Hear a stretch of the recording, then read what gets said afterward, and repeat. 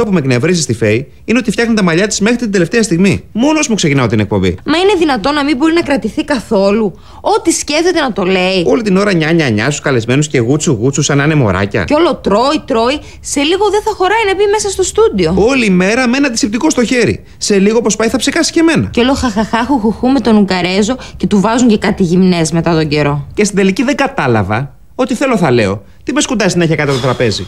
Μετά από δύο χρόνια εκπομπής. Ένα. Τι ένα; Ένα χρόνο εκπομπής.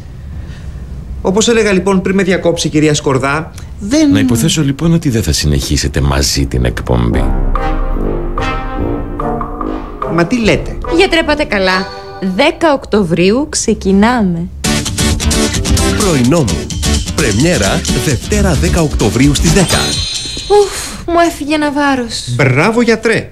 Εξαιρετικός επιστήμον. Εξαιρετικός, εξαιρετικός.